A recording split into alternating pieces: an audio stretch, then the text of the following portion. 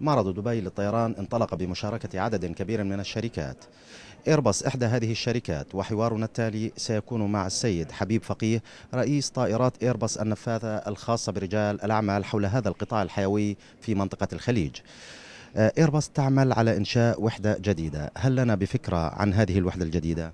هذه الوحدة هي آه، نعتبرها كتجميع لوحدات كانت متعددة ومتفرقة آه، في وسط إيرباص آه، كلها كانت تشتغل للتسويق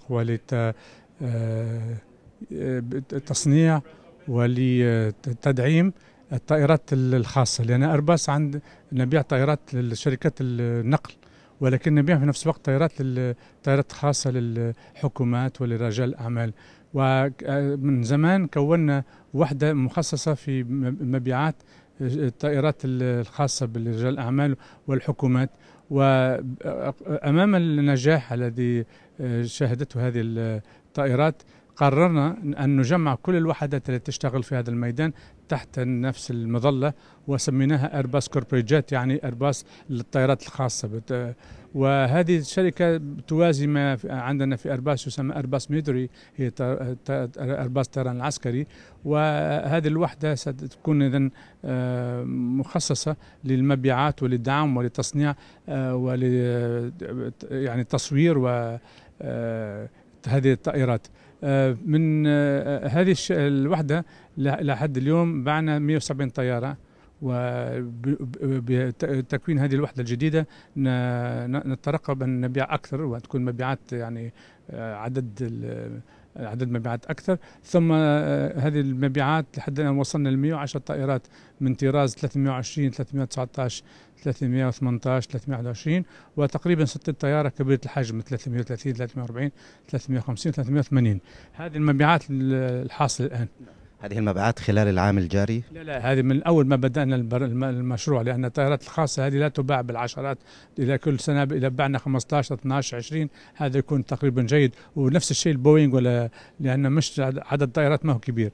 الآن فيما يخص آه، آه، ترقباتنا في هذا الميدان مبيعات الطائرات الخاص آه، بسنه 12 وسنة 13 و14 في ترقب يصل العدد يعني إلى 20 طائرة تقريبا سنويا وهذا بحد ذاته يعني يعتبر آه، رقم طيب يعني بمقارنة بالماضي خاصة وأن مرينا بأزمة والحمد لله خرجنا من الأزمة بسلام والحمد لله الأمور في تحسن رغم المشاكل في العالم والمشاكل في العالم العربي. بالحديث عن الأزمة العالم العربي يمر أو هناك ربيع عربي في العالم في منطقة الشرق الأوسط. هناك زلزال في تركيا زلزال اليابان آه، أزمة المال الأوروبية والأزمة المالية الاقتصادية العالمية.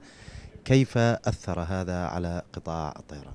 فيما يخص المشاكل اللي مرت بها العالم هذه السنة آه، الزلزال تركيا أثر ولكن ما فيش تأثير ما كان حقيقة تأثير كبير آه، اليابان ما, ما, ما لا نستطيع أن نقول في تأثير لحد الآن الربيع العربي بالطبع أنا هنا أتكلم على موضوع شركات الطيران مش طيران الخاص شركات يعني نقل الطيران.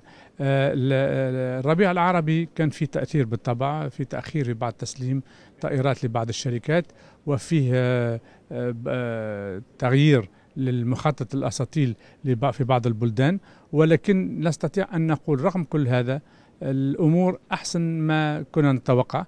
ثم جاءت الأزمة الأوروبية والأزمة المالية ولكن 2011 آه، بتكون أحسن سنة في المبيعات لإيرباص لأننا وصلنا لحدنا أكثر من 1300 طائرة تباع وهذا رقم قياسي ما لم يسبق أن يعني نصل له في السابق لا إحنا ولا بوينغ يعني لأول مرة. يعني رغم الأزمات عالم الطيران في بخير. يعني شيء هذا ممكن آه، يكون غريب الناس بتتساءل كيف هذا؟ ولكن هذا الوضع الحالي. موضوع ميدان الطيران في خير وعدد المبيعات أحسن ما يمكن. ما بيننا وما بين مش نوصل أكثر من 2000 طياره ما هي أكثر دولة في منطقة الشرق الأوسط والخليج آه، طلبا للطائرات آه، الإمارات العربية المتحدة بدون شك.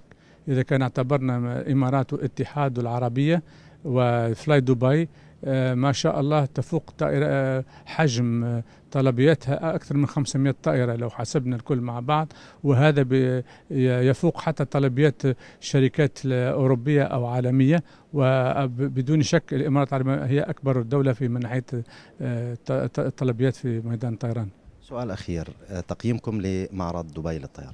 معرض دبي من أهم معارض في العالم هو بعد تقريبا باريس وفارنبورغ يكون ثالث معرض من ناحية الحجم وتدريجيا أصبح فات كل المعارض الأخرى في سنغافورة أو في روسيا أو في برلين ولذلك من أصبح من واجب كل شركة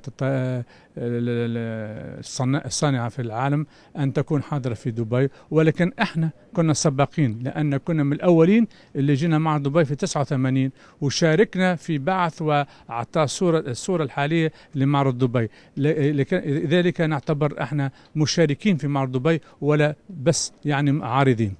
شكرا شكرا جزيلا لك.